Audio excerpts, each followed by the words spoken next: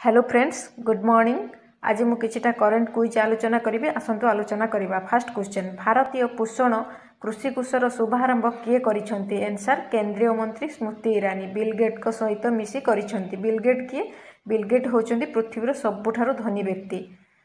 ଭାରତୀୟ ପୋଷଣ କୃଷି କୋଷର ଶୁଭାରମ୍ଭ ମାନେ କ'ଣ? ମାନେ ଏଇଟା କୃଷି କ୍ଷେତ୍ରର କୁପୋଷଣରୁ ଚେଞ୍ଜ କରିବା ପାଇଁ। କୁପୋଷଣକୁ ଚେଞ୍ଜ କରିବା ପାଇଁ ଏଇଟା ନ୍ୟୁ ଦିଲ୍ଲୀରେ ଆରମ୍ଭ ହୋଇଛି। ଶୁଭାରମ୍ଭ କରିଛନ୍ତି କେନ୍ଦ୍ରୀୟ ମନ୍ତ୍ରୀ ସ୍ମୃତି ଇରାନୀ ଆଉ ବିଲ୍ ଗେଟ୍ ମିଶିକରି। ଦୁଇ ନମ୍ବର କ୍ୱେଶ୍ଚନ୍ ଅନ୍ତରାଷ୍ଟ୍ରୀୟ ପୁରୁଷ ଦିବସ କେବେ ପାଳନ କରାଯାଏ? ଆନ୍ସର୍ ଉଣେଇଶ ନଭେମ୍ବରରେ। ତିନି ନମ୍ବର କ୍ୱେଶ୍ଚନ୍ କାହାକୁ ଇନ୍ଦିରା ଗାନ୍ଧୀ ଶାନ୍ତି ପୁରସ୍କାର ମିଳିଛି? ଆନ୍ସର୍ ଡେଭିଡ୍ ଏଟେନବରୋଙ୍କୁ। ଇନ୍ଦିରା ଗାନ୍ଧୀ ଜୟନ୍ତୀ ଦିନ ତାଙ୍କୁ ମିଳିଛି। ଆଠ ମେ ଉଣେଇଶହ ଛବିଶରେ ତାଙ୍କର ଜନ୍ମଦିନ। ସେ ପ୍ରକୃତିର ବଡ଼ ବଡ଼ ଚେଞ୍ଜ ଆଣିଥିବା ଯୋଗୁଁ ତାଙ୍କୁ ଶାନ୍ତି ପୁରସ୍କାର ମିଳିଛି। ଇନ୍ଦିରା ଗାନ୍ଧୀ ଶାନ୍ତି ପୁରସ୍କାର ତାଙ୍କର ଜନ୍ମ ୟୁକେରେ ଚାରି ନମ୍ବର କ୍ୱେଶ୍ଚନ୍ ପ୍ରଥମ ଟାଇଫଏଡ଼୍ ଭ୍ୟାକ୍ସିନ୍ର ଶୁଭାରମ୍ଭ କେଉଁ ଦେଶରେ ଆରମ୍ଭ ହୋଇଛି? ଆନ୍ସର୍ ପାକିସ୍ତାନରେ।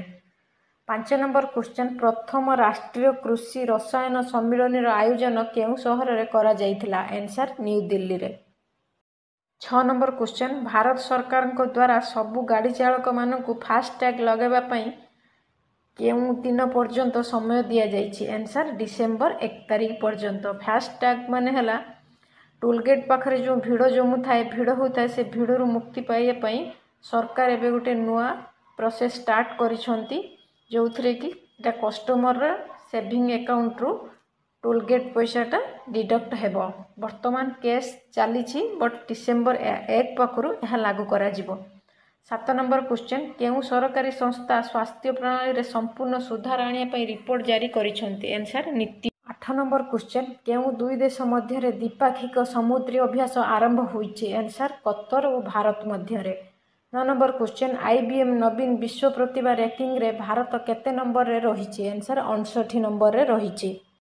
ଦଶ ନମ୍ବର କ୍ୱେଶ୍ଚନ୍ ବେସିନ୍ ପ୍ରବନ୍ଧନ ଯୋଜନା କେଉଁ ରାଜ୍ୟରେ ଆରମ୍ଭ ହୋଇଛି? ଆନ୍ସର୍ କର୍ଣ୍ଣାଟକରେ।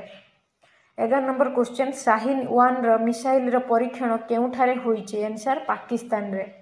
ବାର ନମ୍ବର କ୍ୱେଶ୍ଚନ୍ ଅମିତ ଶାହା କେଉଁଠାରେ ୱିଣ୍ଟର ଗ୍ରେଡ୍ ଡିଜେଲ ଲଞ୍ଚ କରିଛନ୍ତି? ଆନ୍ସର୍ ଲଦାଖରେ। ଫ୍ରେଣ୍ଡସ୍ ଏହା ସହିତ ସରିଛି ଆଜିର ବାରଟି କରେଣ୍ଟ ଆଫେୟାର ଆଶା କରୁଛି ଆପଣମାନଙ୍କୁ ଏଇଟା ଭଲ ଲାଗିଥିବ। ରହୁଛି। ନମସ୍କାର।